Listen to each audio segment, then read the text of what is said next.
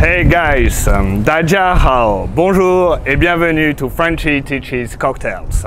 This is episode 4 of our classic cocktail series and today we're gonna shake things up and we're gonna make a daiquiri. A daiquiri is a simple rum sour but it's sharp, tart and delightfully refreshing and it's a perfect opportunity to learn about shaking.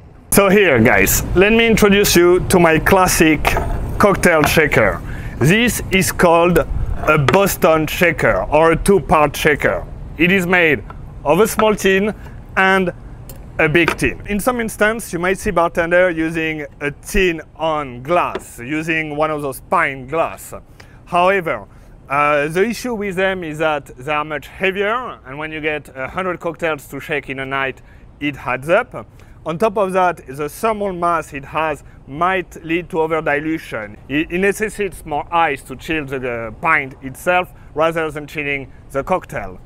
Uh, lastly, they may break if you drop the shaker, and believe me, I've seen a few bartenders dropping shakers at the end of a long night. So, so that's why I prefer to go tin on tin. They are much lighter, they are more reliable, and they are virtually indestructible. I did manage to break a couple over the years. The process is simple. You build your cocktails into the small tin, add your ice into the small tin, you're going to use a big tin to create a seal. You want a seal at an angle. You don't want to be perfectly straight. This doesn't work. You want to make sure you have an angle and give it a good whack. Don't hesitate to hit it hard enough. You do not want to have a leaky tin and you want to have a good seal. As you are shaking it, the temperature inside your shaker is going to drop drastically. This will create a vacuum inside the shaker and it will reinforce your seal. To break the seal, you just want to whack it on the side of the big tin. However, sometimes it's a bit harder and you gotta use your belly to lock the big tin position and just at an angle, press, use your thumb and unlock the small tin. With our Boston shaker, you're gonna have to use a Hawthorne strainer. Those are made of two parts, the holder and the coil. You can separate them to wash it more easily. These are designed to fit on top of your tin and allows you to strain into the glass. They will retain most of the big pieces inside the shaker. However, an Hawthorne strainer is not very fine. It will let uh, shards of ice and little pieces uh, of solid go through. So they are often used in conjunction with a fine mesh strainer. This way. Why do we shake a sour? Why do we shake a cocktail with citrus? Why not simply, as our previous uh, drink, build it into a yarai, stir it to dilution, pour it into a glass? Well, the answer lies into the proteins in the citrus. Every single fruit has trace amount of proteins. Citrus have about 0.4% proteins in it. And proteins are long chains of amino acid. And as you are shaking it into your cocktail, those long chains of amino acid are to entangle themselves and they're to be able to trap little air bubbles inside the liquid. This emulsification, this aeration, has an impact on both texture and flavor. This is the reason why a freshly shaken cocktail is so wonderful. It has a unique liveliness, a citrus pop, it has a zing, it has that frappe effect into the drink. In my old bar, trainee bartender would spend weeks practicing their shake before they were allowed to make a cocktail. For a proper emulsification, you need a powerful shake. I'm not gonna tell you which way you should be shaking your cocktail. Everyone has a different physiology and you should find your own shake. Two little details though. Do not shake towards your guest your tins will have condensation and you might splash uh, water onto your guest. Or if you have a leak, never shake towards your guest. You should shake alongside the bar towards your coworker. And lastly, a powerful shake is function of both speed and amplitude. So you have to go fast and you have to go long. If you go too short, you'll have no power, you won't have proper emulsification. So when you practice, make sure you both have amplitude and speed. And the drink we would use to test our newbies was a daiquiri. A daiquiri is a simple drink. There is nothing special about it. However, when properly shaken, it's wonderful. It's sharp, tart, and super refreshing.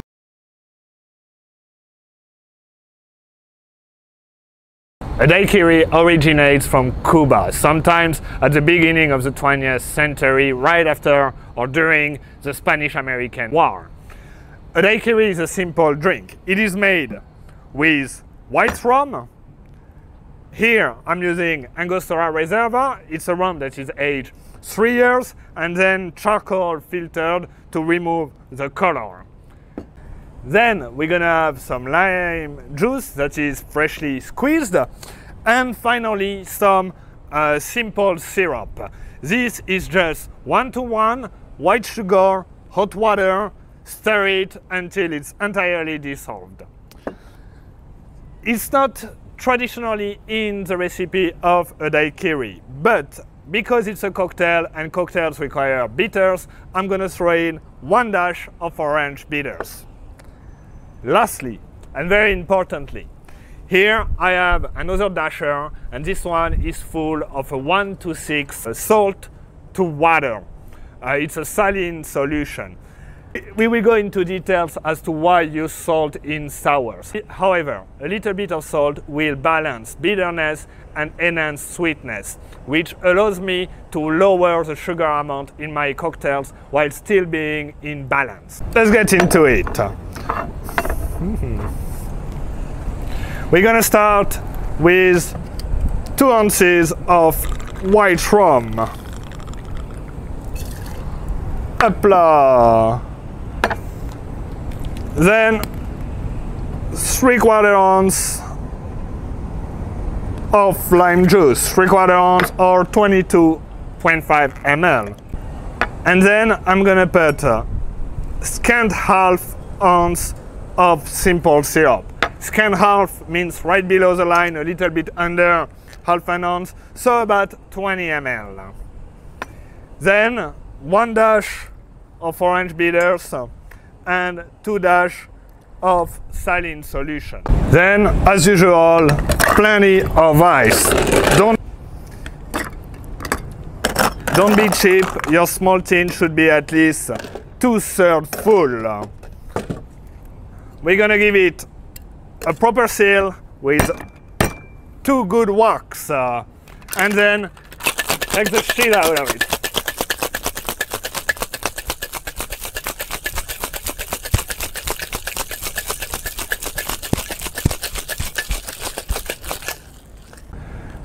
Break the seal and a daiquiri is single strain, meaning I'm only going to use my Hawthorne strainer.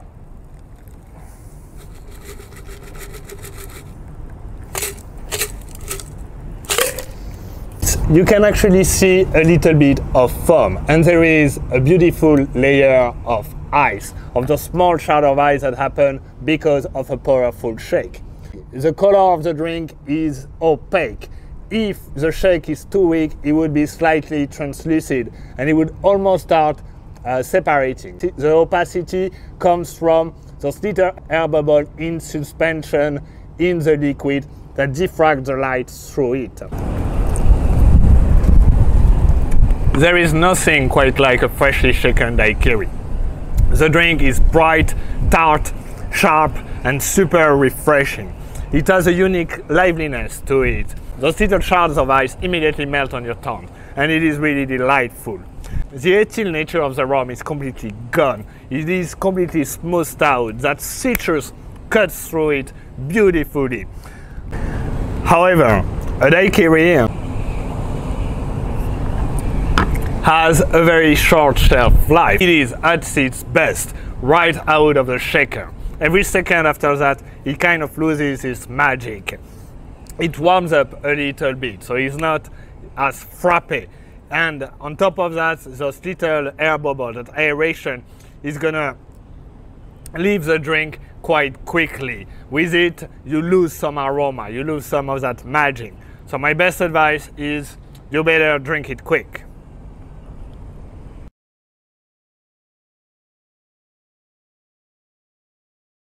So here we go guys, that was episode 4 of our classic cocktail series. With this episode we introduce a new layer to our cocktail, the sour layer. Sourness is not like sweetness or bitterness, it does not take any time to develop on the tongue. We are very sensitive to it and it's immediate. So sourness is going to be the second layer of our cocktail. But today we learn as well how to shake a cocktail and the importance of a powerful shake. So you guys will have to practice a little bit to find what kind of shake works well with you. My best advice is to start by adding some rice inside your tin and tin. Then you can practice with water and ice. And finally, host a daiquiri party and look for that nice frappe feel uh, of a freshly shaken daiquiri. Let me know in the comment down below how it went and uh, don't hesitate, uh, hit the like button and subscribe. Next uh, episode we're gonna introduce a crowd's favorite, the iconic Moscow Mule and we're gonna have some delicious homemade ginger beer. I'll see you guys soon. Bye bye. 再见. Au revoir.